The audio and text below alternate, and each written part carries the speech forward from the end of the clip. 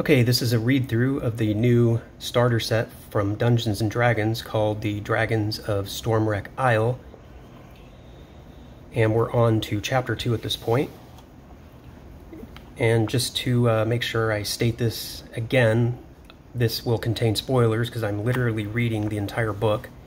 So obviously, if you plan to play this as a player, uh, you should not be watching, listening to any of these videos but I thought that people around the world who don't have access to this material might find it interesting to get a chance to know what this adventure is all about.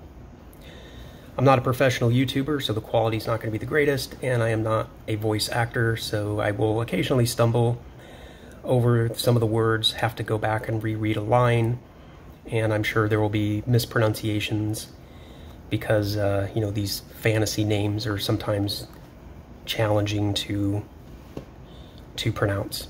With all that out of the way, let's go ahead and move on to Chapter 2, Seagrow Caves. This chapter assumes the characters come here before going to the wreck of Compass Rose, and they are still first level. It also includes simple instructions to scale up the danger in combat encounters if the characters complete Chapter 3, Cursed Shipwreck, before coming here and are now second level. Caves Overview the sea caves on the southwest side of Stormwreck Isle are inhabited by an unusual colony of myconids, fungus people who normally live deep underground. Though they can't abide though they can't abide sunlight, these myconids used to welcome visitors now and then. In particular, they traded with Tarek from Dragon's Rest, giving him rare fungi that grow in their caves in exchange for food scraps and other waste from the cloister, which nourished the fungi in the caves. Recently, though, the myconids have rejected Tarek's visit and placed a monstrous guardian at the entrance to their caves that keeps all visitors away. The reason for this sudden shift in myconid's behavior is that a blight has spread through the caves and is poisoning the myconids, twisting, twisting their gardens and even laying low their leader, Senensa.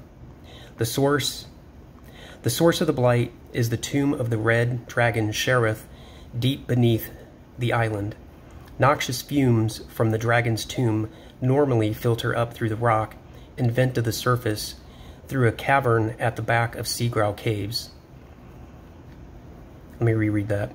Noxious fumes from the dragon's tomb normally filter up through the rock vent to the surface through a cavern at the back of Seagrow caves that the myconids avoid, but the vent has become blocked and the fumes have spilled into the myconids' caves. Besides this insidious poison, visitors to Seagrow caves must face one additional threat, the stirges that nest in the caves. These blood-sucking monsters aren't much of a threat individually and don't bother the bloodless myconids, but they can be deadly in large numbers. Seagrow Cave features. The caves have the following features. Ceilings. Unless noted otherwise, the ceilings in the caverns are 20 feet high and the tunnels connecting the caverns are 15 feet wide. Light. The interior caves are illuminated by bioluminescent fungi, which provide dim light throughout the area. See vision in the rulebook. Walls. The cave walls are formed from hexagonal columns of dark gray basalt volcanic rock originating from Sharruth's undersea tomb.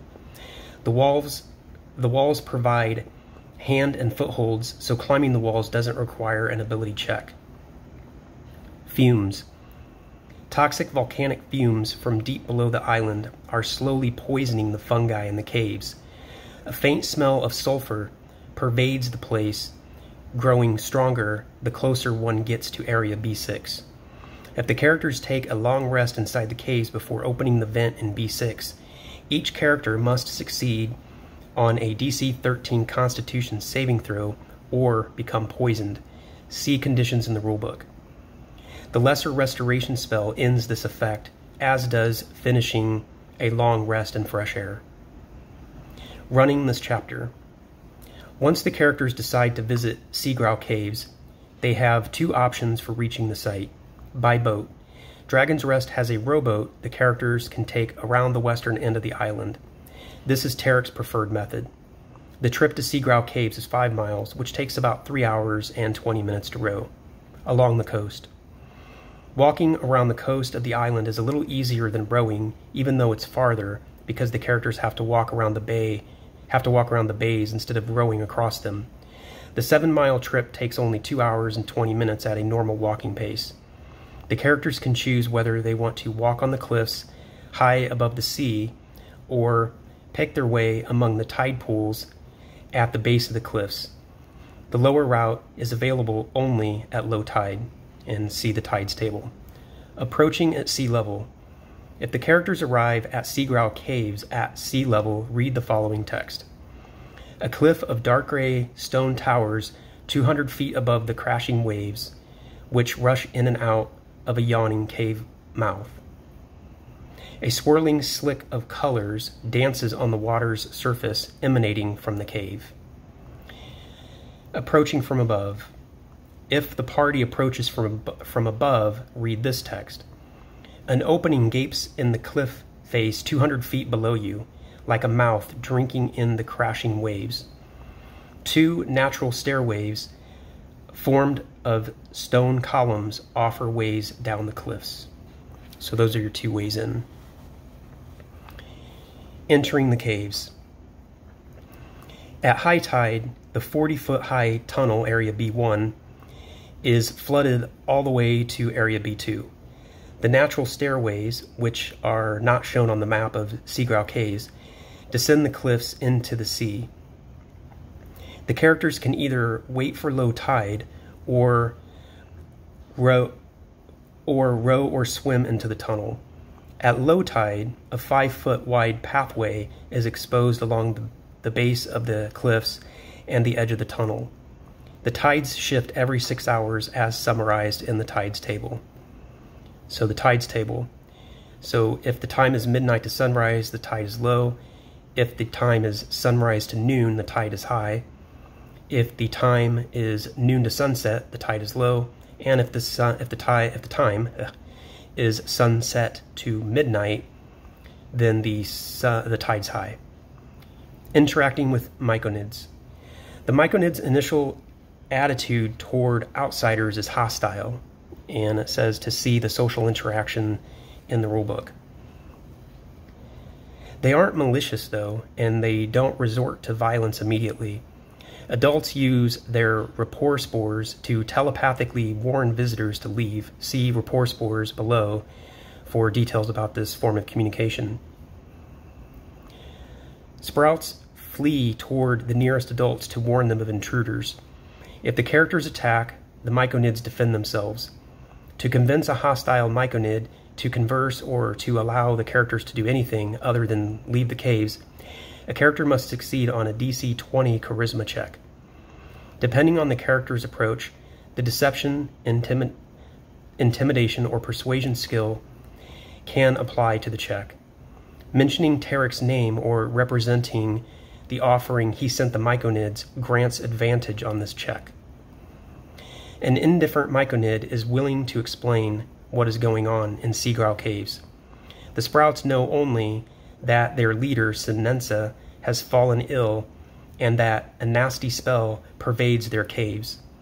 Adult myconids know that the Crystal Cave, Area B6, is the source of the foul odor and that Sinensa fell ill after going into that cave to investigate the issue. The myconids normally avoid that cave because sunlight filters into it by way of the vent at the western end of the cave, and even diffuse sunlight is unpleasant to these cave dwelling creatures. Rapport spores.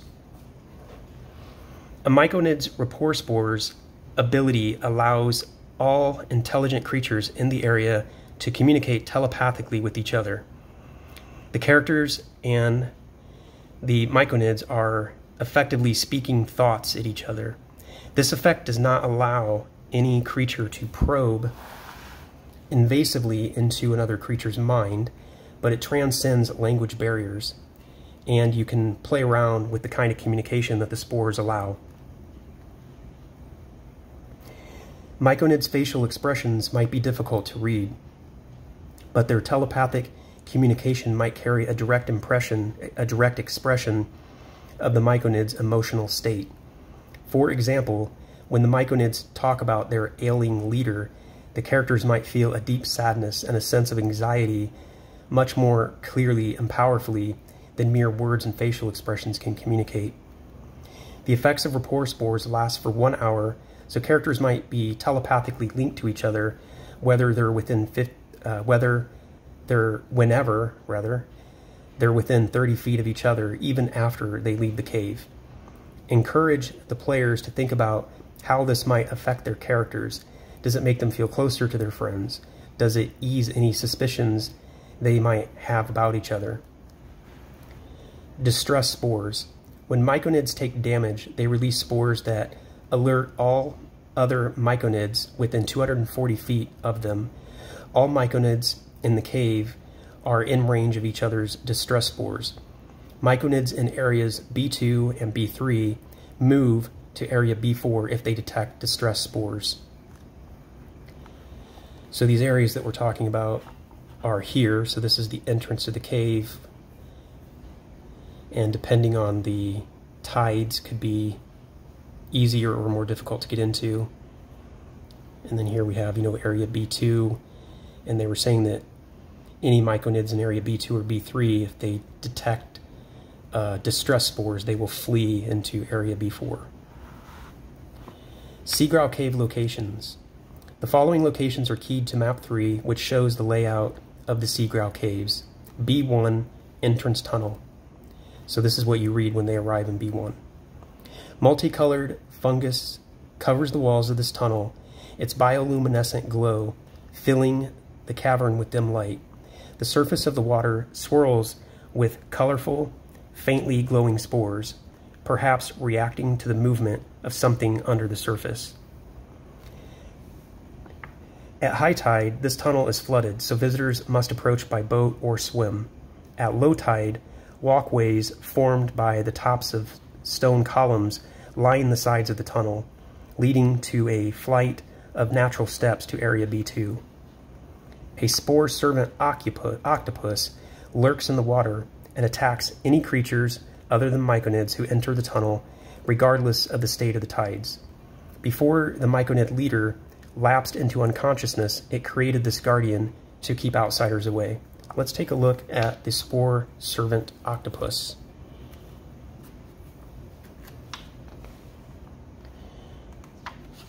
Let's see here. All right, here we are. This is the spore servant octopus. Spore servants are dead creatures reanimated by the magical spores of a myconid leader. The final act of the myconid leader in Seagrow Caves before lapsing into its current comatose state was creating a spore servant from a dead giant octopus to protect the caves, while the leader could not. Unlike a living octopus, this guardian has only basic control over its tentacles. Rather than coiling around intruders to immobilize them, the spore servant simply bludgeons them. So the spore servant octopus has an armor class of 11, 52 hit points, or you roll 8d10 and add 8 to generate the hit points for it. Has a speed of 5 and a swim speed of 50. And there are its stats. Condition immunities, blinded, charmed, frightened, paralyzed. Senses, blind sight out to 30 feet, blind beyond this radius, has a passive perception of 8, and it's a challenge rating of 1, so it's pretty tough. Um, can be pretty tough for a small party. Hold breath. While out of water, the octopus can hold its breath for one hour. Water breathing. The octopus can breathe only underwater. And its actions are tentacles. Melee weapon attack, plus 5 to hit, reach of 15 feet, one target, and if it hits, it does 7 bludgeoning damage, or you roll 1d8 and add 3 to calculate the damage done.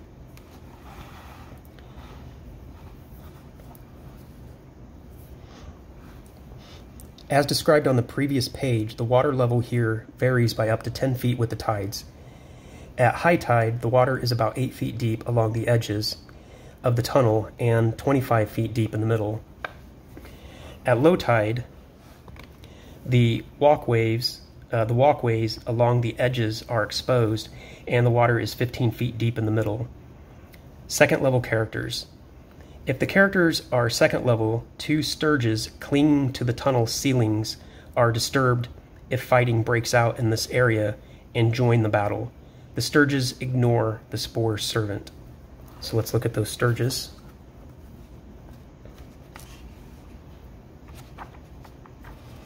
Okay, so here we have the stirge.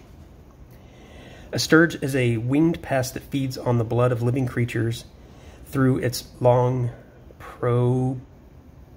Cause I don't know what that word is. Proboscis. It uses its proboscis to pierce its victim's flesh while clutching its prey with hooked claws. Let me see. Proboscis. We'll go with that. Proboscis. Armor class is 14, hit points 2, or you roll 1d4 to decide determine how many hit points it's going to have. Speed of 10, flying 40 feet. Uh, senses dark vision out to 60 feet, has a passive perception of 9. Challenge rating is only 1 8, so not very, not very challenging. Its actions are blood drain. Has a melee weapon attack, plus 5 to hit, 5 foot reach. Hits one creature, does 5 damage upon a hit. Or you roll 1d4 and add 3 to calculate the damage. And it's going to be piercing damage. And the stirge attaches to the target. While attached, the stirge doesn't attack. Instead, at the start of each of the stirge's turns, the target loses 5 hit points or roll 1d4 plus 3 to calculate how much they lose. The stirge can detach itself by spending 5 feet of its movement.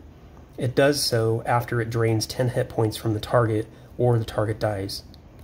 A creature, including the target, can use its action to detach the Stirge. So it's actually quite a bit, I mean, it's a bit more deadly than the challenge rating would suggest because it does like that automatic damage every round. So something to keep in mind. So area B2, the fungus farm, which is uh, right here on the map. So when they enter that area, we want to read this block text. This 50 foot high cavern is a forest of multicolored fungi ranging from tiny filaments to tree-sized mushrooms. A natural staircase of stone columns along the east wall leads up 10 feet to a higher cave area in the north. Water burbles down from that upper cave and collects in a large pool. Two small mushroom-like people are working amid the mushrooms near the pond. A sickening smell like sulfur hangs in the air. The waterfall is fed from a pool in the upper cave, which in turn is supplied by runoff trickling down from the surface. Both pools are five feet deep at most. The two mushroom people are myconid sprouts named Molin and Kraz. Kraz. They are spreading fertilizer from area B3, while two myconid adults named hip, Hypsis and rugasso tend mushrooms near the upper pool, out of sight from below. All four myconids, myconids are oblivious to the true threat in the cave, three violet fungi that grow among the harmless mushrooms here. So let's look at those violet fungi.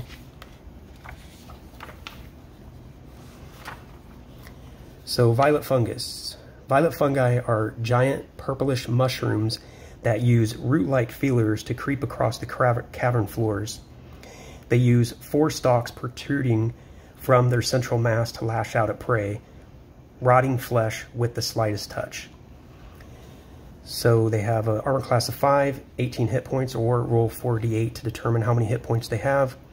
Speed of 5, condition immunities, blinded, deafened, and frightened, senses, they have a blind sight out to 30 feet.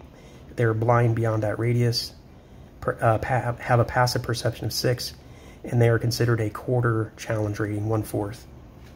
False appearance. If violent fungus is motionless at the start of combat, it has advantage on its initiative roll. Moreover, if a creature hasn't observed the fungus move or act, the creature must succeed on a DC 18 intelligence investigation check to discern that the violent fungus isn't ordinary fungus. Actions. multi-attack. The fungus makes 1d4 rotting touch attacks. So you roll 1d4 and that's how many times they attack. And then the rotting touch is a melee weapon attack plus 2 to hit with a reach of 10 feet. And it hits one creature. It does 4 necrotic damage or roll 1d8 to determine how much necrotic damage is dealt.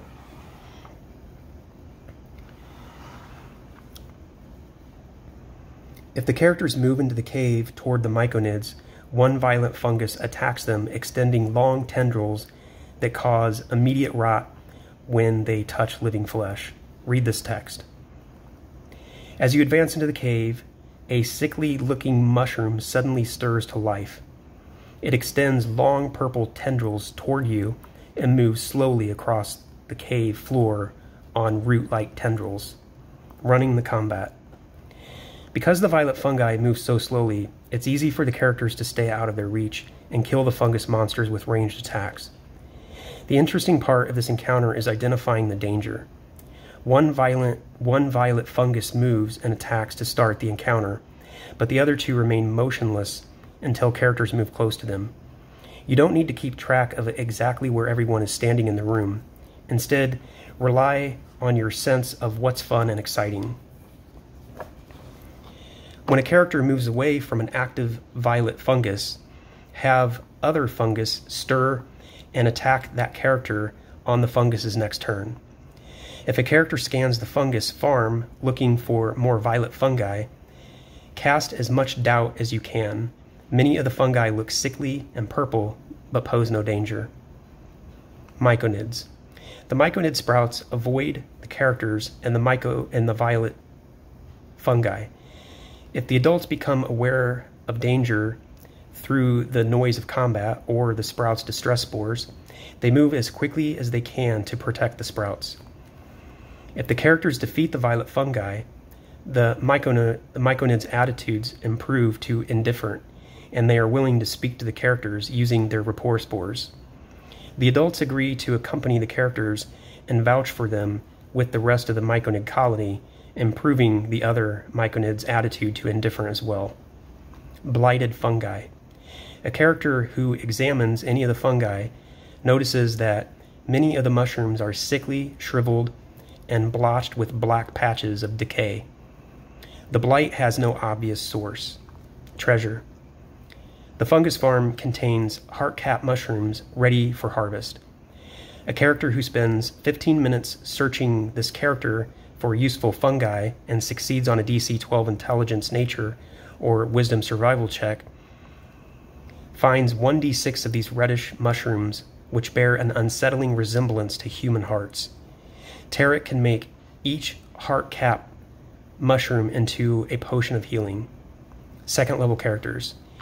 If the characters are second level, add two violet fungi to this encounter.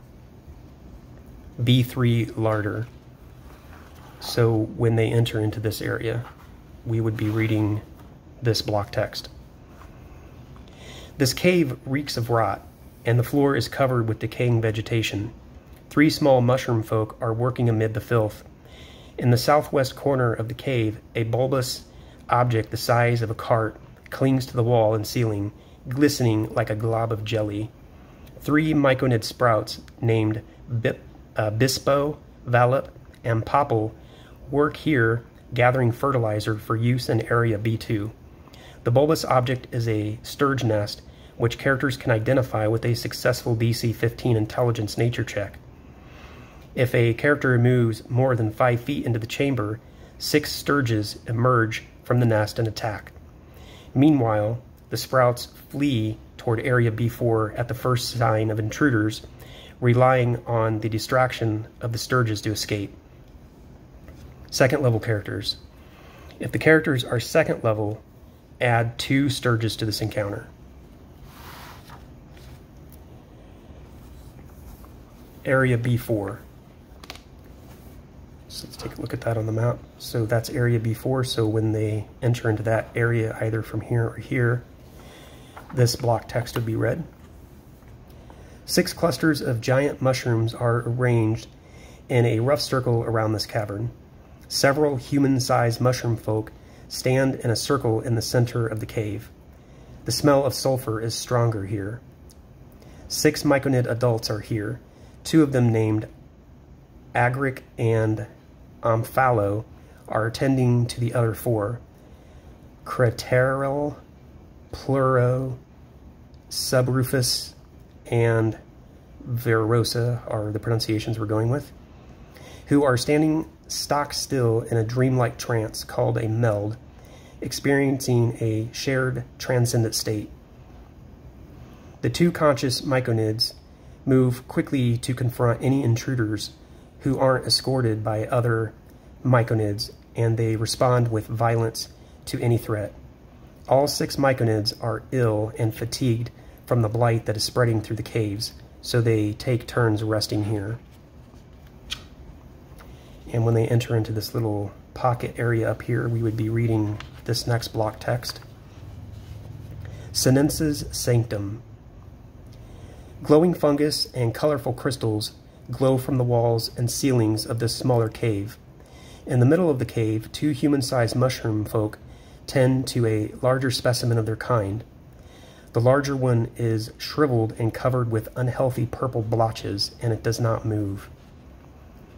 Two myconid adults named Aranta and Enoch are tending the unconscious myconid who leads this colony, Sinensa.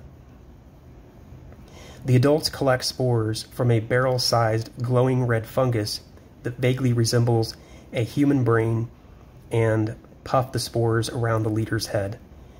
The treatment is keeping the leader alive for now, but it is a losing battle. Sinence's only hope is for the blight to end.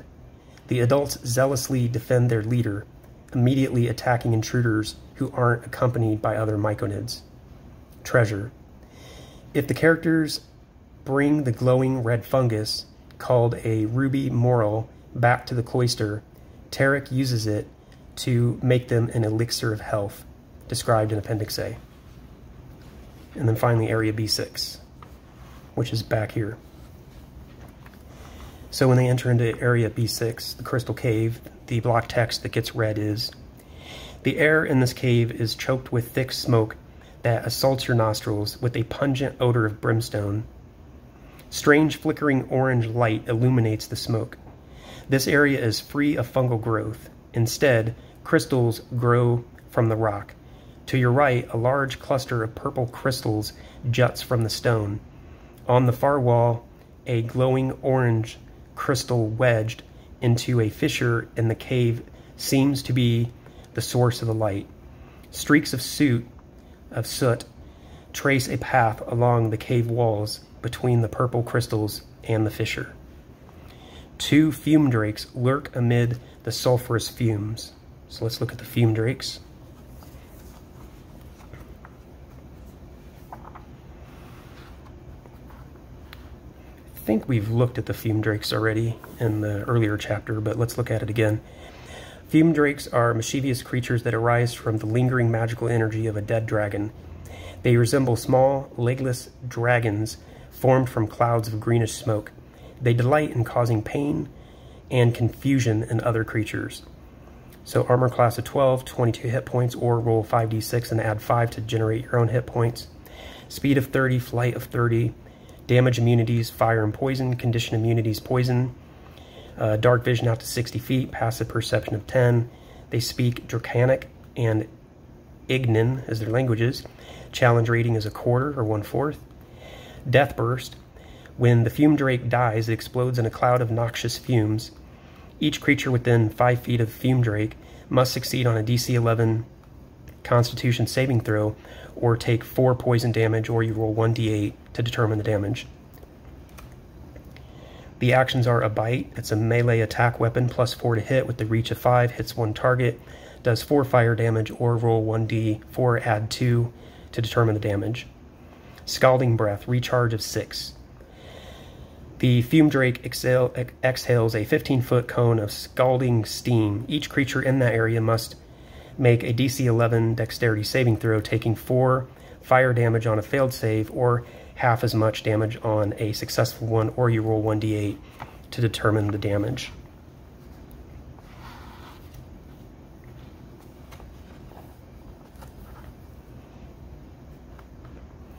These elemental creatures look like little dragons, formed entirely of greenish smoke. They don't leave this cave, but they rush to attack any creature that enters it. This cave is the source of the blight spreading through the Myconid colony. As the characters explore the cave, they can easily determine that noxious fumes from deep beneath the island seep up around the vein of purple crystals. Ordinarily, the fumes vent to the surface through a fissure in the west wall, but the fissure is now blocked by an enormous orange crystal, which is also the source of the light here.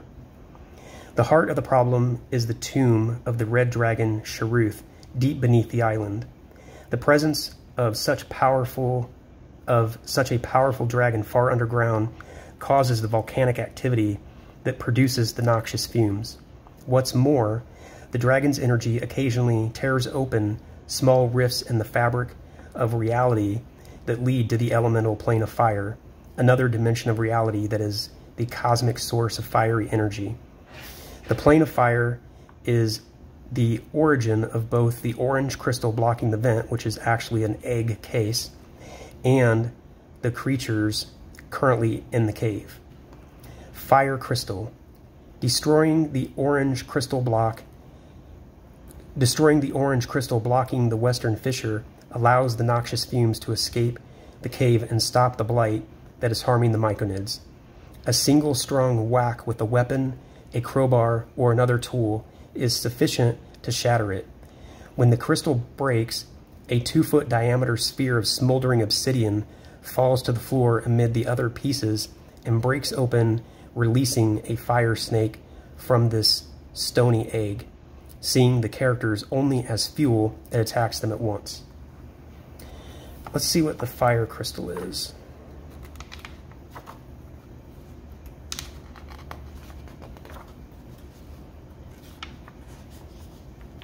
I mean, it was a bold piece of text, so I assume there's a an object to go along with it. I guess I guess there's not. But they also mention the fire snake, so let's look at that. Fire snakes are the larva from uh, are the larva form of salamanders, powerful creatures from the elemental plane of fire. Intense heat washes off their bodies, and their yellow eyes glow like candles. So they have a 14 armor class, 22 hit points, or roll 5d8 to generate your own. Speed of 30, damage vulnerabilities cold, damage resistances, bludgeoning, piercing, and slashing from non magical attacks, Damage immunities fire. They have dark vision out to 60 feet, pa passive perception of 10. They understand Ignan but can't speak it. And they have a challenge rating of 1. Heated body. A creature that touches the snake or hits it with the melee attack while within 5 feet of it takes 3 fire damage or you roll 1d6. Multi attack. The snake makes one bite attack and one tail attack. On its bite attack, that is considered a melee weapon attack with a plus 3 to hit and a 5 foot reach. Hits one target, does 3 piercing damage plus 3 fire damage on a hit, or you roll 1d4 plus 1 for the piercing damage and roll 1d6 for the fire damage. The tail attack is a melee weapon attack with a plus 3 to hit, uh, 5 foot reach, hits one target, and does 3 bludgeoning damage plus 3 fire damage on a hit, or roll 1d4 plus 1 for the bludgeoning, and roll 1d6 for the fire.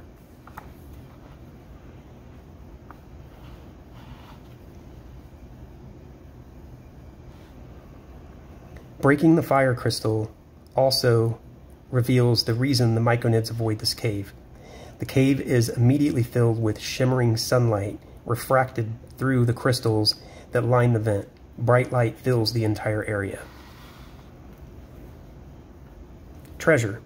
The fire snake's egg breaks into 25 chunks of obsidian worth 25 gold each. Second level characters. If the characters are second level, add a third fume drake to the room when the characters first arrive. Then, at the same time the fire snake hatches from its egg, two more fume drakes emerge from the cluster of purple crystals. Ending this chapter. If the characters destroy the orange crystal so the toxic fumes can escape the caves, the myconid's attitudes improve to friendly. Sinensa, the myconid leader, regains consciousness the following morning. If the characters are present when Sinensa awakens, Sinensa gives them the ruby morel, morel from Area B5 and permission to keep any other treasure or mushrooms they collected in the caves. Once the characters return to Dragon's Rest, Tarek can use the ruby morel to make an elixir of health described in Appendix A, which he gives to the characters in gratitude for their efforts. Gain a level. After they complete this chapter of the adventure, the characters gain a level. If they visited Seagrow Caves before the wreck of Compass Rose, they advance from first level to second level. The, the residents of Dragon's Rest urge them to visit the wreck of Compass Rose next. See Shipwreck on page 12. If they've already explored the wreck of Compass Rose in chapter 3, they advanced they advance from second level to third level and are ready to visit Clifftop Observatory in chapter 4. See Lost Wyrmling on page 13. The chapter the character sheets explain what happens when the characters gain a level. Okay, so that's the end of chapter 2, so we will move on to chapter 3 next.